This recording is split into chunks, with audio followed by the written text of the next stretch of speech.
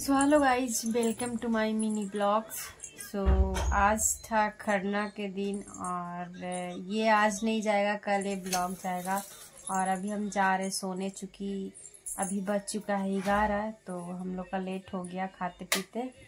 और ये कल ब्लॉग आएगा, आप लोग देखिएगा, अभी खरना उड़ना का पूजा का। तो ओके बाय बाय बाकी कल ब्लॉग आएगा। यहाँ पास हो रहा है खरना का तैयारी और ये मेरी मौसी हैं तो यही खर, पूजा किए हैं। तो एक बार सभी लोग बोलिए, जय छठी मैया। और इधर पूरा अच्छे से तैयारी व्यारी हो रहा है। बाकी तो खरना होगा, उसके बाद आप लोग को हम दिखाएँगे। आप लोग मेरे वीडियो में कंटिन्यू बने रहिएगा। तो यहाँ पास देखिए, प्याली में और थाली में सब खीर को अभी निकाल दिए हैं मौसी।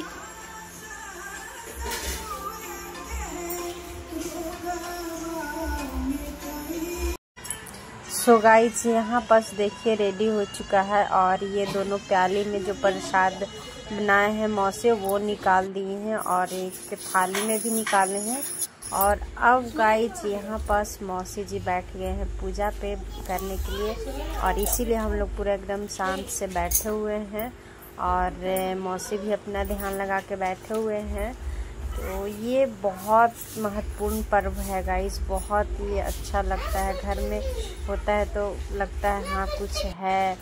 तो बहुत अच्छा लगता है और थोड़ा हमको आना था जल्दी बट हमको लेट हो गया, कोई नहीं। तो पूजा होने से पहले ही आए थे। अभी तो पूजा मौसी कर रहे हैं। और यहाँ पास पूजा वगैरह हो चुका है कंप्लीट और उसके बाद मौसी जी हमको लगा रहे हैं सिंदूर। तो अच्छा लगता है ना, जितने भी शादीशुदा लोग हैं, जो सभी लोग नाक पर से सिंदूर लगाते हैं तो कितना प्यारा लगता है सबका। ऑरेंज ऑरेंज लगा हुआ है सिंदूर। तो बहुत प्यारा लग रहे हैं सभी लोग सिंदूर लगा के। सो गाइज़ अब यहाँ पास सभी लोग बारी बारी बारी से प्रणाम कर रहे हैं। और इसके बाद हम भी सोच रहे हैं कि छठ मैया को प्रणाम कर लें और हम भी अपना जो मनकामना है मांग लेंगे और पूरा भी होता है। तो यहाँ पास देखिए, हम आ गए हैं छठ माई को प्रणाम करने और कितना अच्छा लग रहा है ना, सिंदूर लगा कर के बहुत प्यारे लग रहे हैं। तो देखिए, इस तरह से प्रणाम कर रहे हैं और जितने लोग भी आएँगे प्रसाद खाने, वो सारे लोग यहाँ पास प्रणाम करते हैं। और हम लोग जितने भी बिहारी लोग हैं, उन लोग बहुत मनाते हैं धूमधाम से ये पर्व।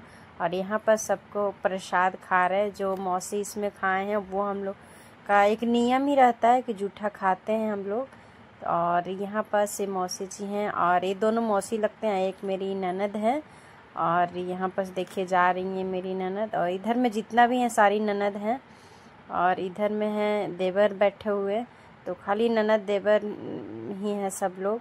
और यहाँ पर सब पूजा हो चुका है कंप्लीट। तो बाकी मिलते हैं कल का नेक्स्ट